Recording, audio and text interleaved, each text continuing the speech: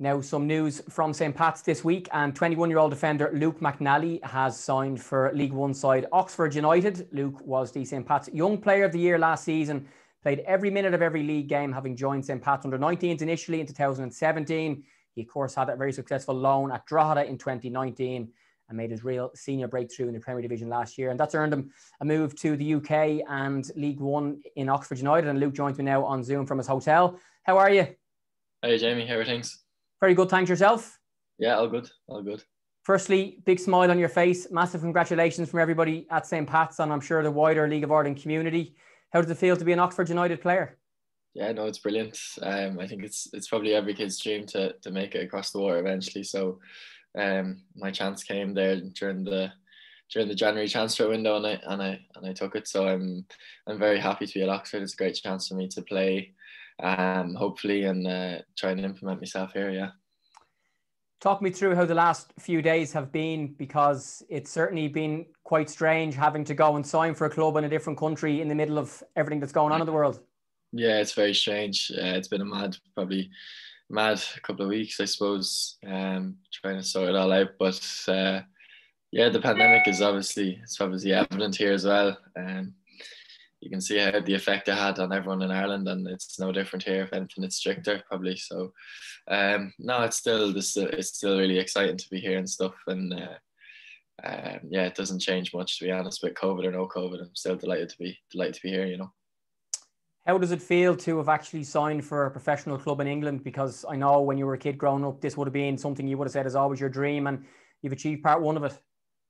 Yeah, it's it's mad really. Uh, it's been a long, I suppose, a long journey. Like when you think back of all the all the teams you would have played for when you're a kid, you kind of think, Jesus, like it, I'm still going here, and I've and I've made it to England. So it's obviously very proud, and um, I'm lucky. I have good friends and family who support me the whole way. So um, little bumps on the road, they help me out, and um, thankfully I'm here now. So I'm really happy. Yeah.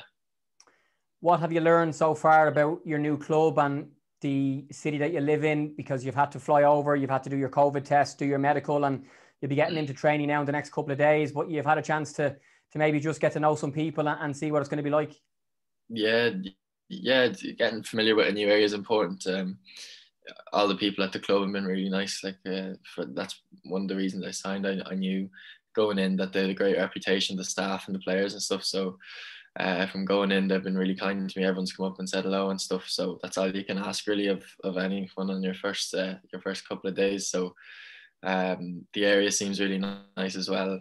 Um, my family are friends here actually, so like we, we know a couple of people. So it's it's uh, it's nice to have them as well. Like you, you end up uh, you end up settling in a bit easier. So it's good to have them. Yeah. We'll talk more about Oxford and, and League One and your hopes for England in a moment, Luke. But if I was to ask you to sum up your time at St. Pat's since you signed for the under 19s initially in 2017, what would you say?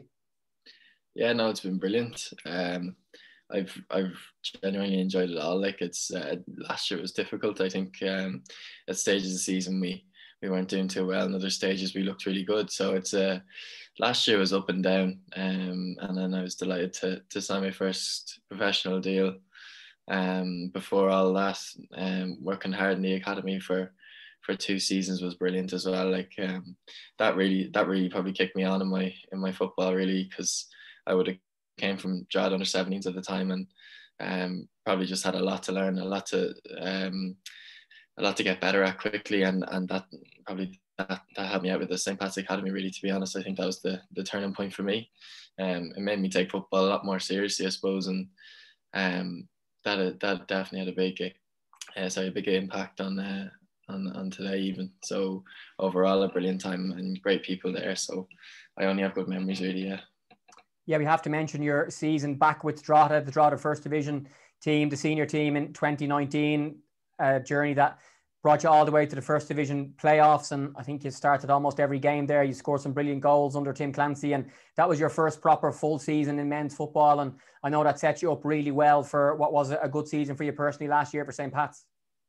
Yeah, the brilliant, yeah, brilliant time at Drogheda. Um, seems like years ago now. Funny enough, um, with everything that's gone on, seems like a really long time ago. But um, yeah, no, I had a brilliant time there, and Tim was brilliant to me. He set me up lovely, really, and taught me a lot taught me a lot about the about the game, but more so just the winning the winning mentality, sort of just going out and, and winning a game, not mattering how you play sometimes, and just being a good defender. He's always that to me. So, um, no, Drogheda, Drogheda was brilliant, and, and I used to play for Drogheda obviously before I went to Pat's Academy. So they obviously brought me on well as well uh, when I was an academy player. So, um, yeah, they, they had a big impact on my development as well.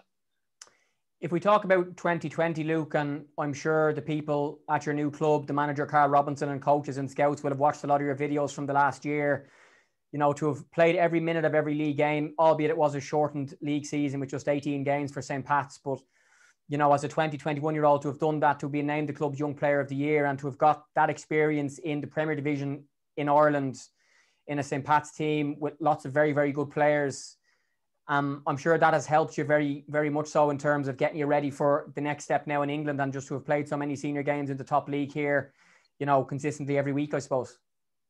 Yeah, it's something I, I knew I probably had to do. Um, it's something that young players probably don't get enough of.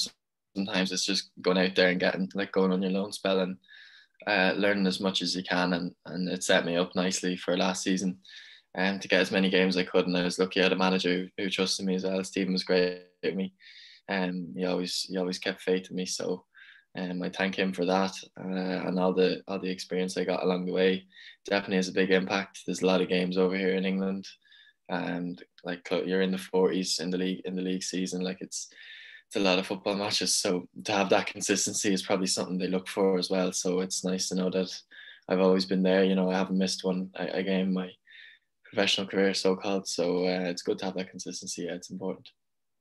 Luke, away from the pitch, St. Pat's Academy and the first team are very much in the mindset of encouraging players to pursue their education if they can and if it's what they want to do along with their football that's something you've done. It's something you'll continue to do along with your football in England up until May. You might just tell people watching and listening about your education, what you've studied, where you've studied it, and the importance of that to you for your future life away from football. Um, yeah, when I when I finished up under 19s, um, I was lucky. There's a there was a scholarship program at Pats at the time, and there still is, which is great to see. Uh, there's still young players going in and out there. So uh, I was I was the same. I, I jumped at the opportunity. It got me got my uh, got my first two years of my degree under my belt and I'm in the middle of my third now. So um, it's great to have something like that there. It's definitely a good help. You. They get you extra points and stuff for, for your lead and certain stuff. Um, because they realize the commitment that you do do. Because when I was doing my leaving cert, I was going straight from school straight to training. So I think it's only fair maybe that's when you when you have someone committing to another career that you do get those points maybe just to help you out along the way. So um, I'm delighted to have it. I'm I'm only uh, when am I finishing now?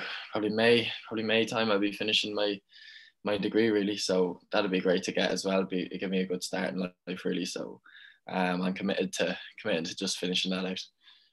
Yeah, Luke is studying international business in Maynooth, and he will combine that from a distance with his professional football career now at Oxford. Luke, what would you like to say to the St. Pat supporters, fans, and the people at the club in general?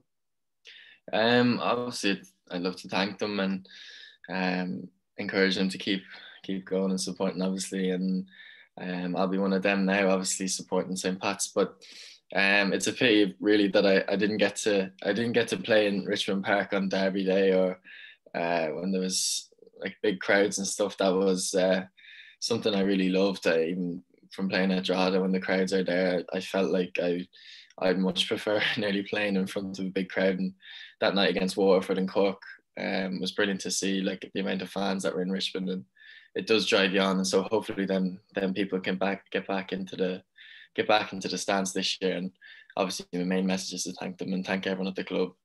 Um, they've been nothing but good to me. So uh, thanks to them yes, everybody at St. Pat's is very proud of you, of course, as well. And look, we'll finish on Oxford 11th in League One. I think six points off the playoffs, a number of wins in a row. Was it six wins in a row or something along those lines? So you're joining a club who are on the up at the moment. Um, what's your, I suppose, hopes and expectations? And I'm sure, like every other footballer, you'll be trying to compete to play in the team as often as you can.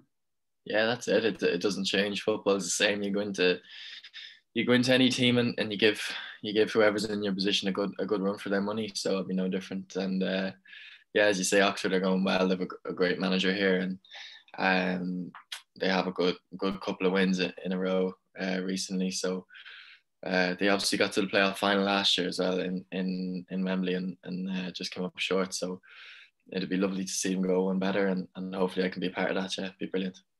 And lastly, life off the pitch. You'll be moving to live in England, away from home for the first time properly. I know you would have done a little bit of, uh, you know, staying in, in college and that as well. Um, and I'm not ashamed to say I've watched all the Harry Potter movies during lockdown, and I learned today doing some research that a lot of the Harry Potter movies were shot in Oxford. There's loads of places there that have actually been used to make the Harry Potter movies, and I know you've been able to, to have a look from a distance at where you're going to live. So, are you excited about going to live in a new country and, and you know learn to cook and clean and all the bits and bobs that you have to do now as, as someone living away from his mommy and daddy? Yeah, hundred uh, percent. That doesn't. So I didn't know that about Harry Potter to be honest, but it doesn't surprise me. I went for a walk there, went for a walk there the other day, and uh, yeah, that doesn't surprise me. It's a brilliant, a brilliant college there. Um, nothing like Maynooth to be fair to him, but it's uh, nah, it's brilliant, and um, they seem like good people, and that's the main thing really. Um, good facilities and that, but the people seem good. So uh, yeah, no, really excited to to start a new life here. Yeah. Great stuff. Well, Luke McNally, well done again. Congratulations, everybody at St. Pat's. The very best of luck at Oxford. We'll be watching you with interest over the next couple of years, and I'm sure you'll be uh, looking back the same way at St. Pat's. The best of luck, and we'll chat to you soon. Cheers, Jamie. Thanks very much. Thank you.